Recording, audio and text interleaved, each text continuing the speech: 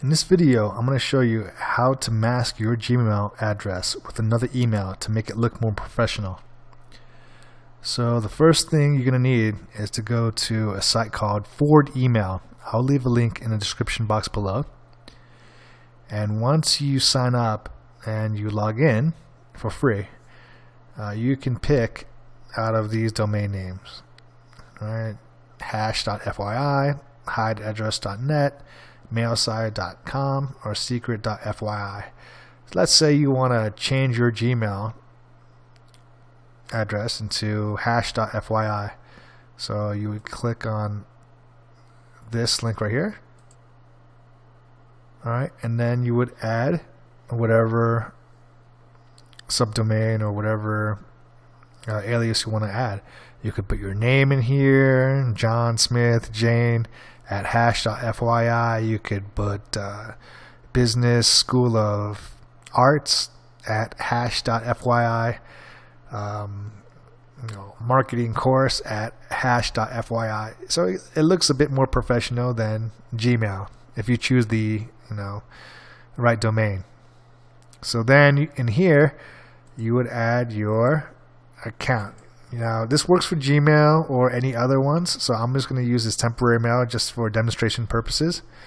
Uh, this is all optional. You can add um, description and label.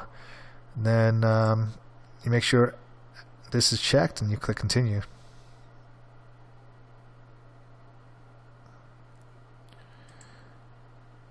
Oh, let me see. Did I forget something? Oh yes, I have to add a name. Um, let's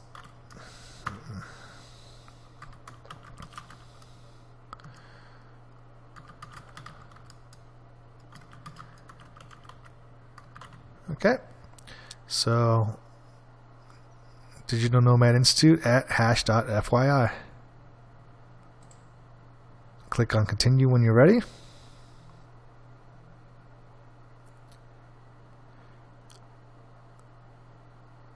All right. So there we go. This is what your email, right, your Gmail, what your new your email.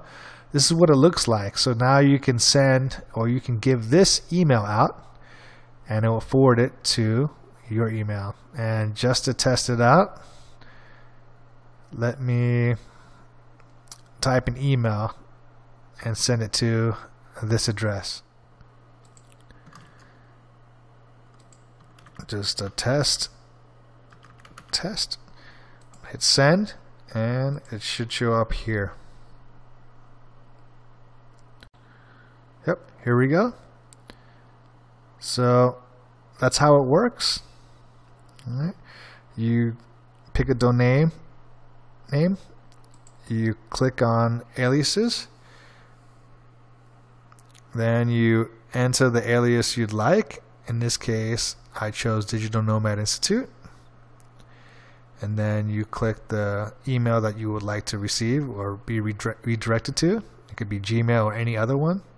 And there you go. I hope this was useful to you. Once again, this is Vince at Digital Nomad Institute. If you found this video useful, it would mean the world to me if you leave a like and hit that subscribe button to be notified of future video content. Signing off.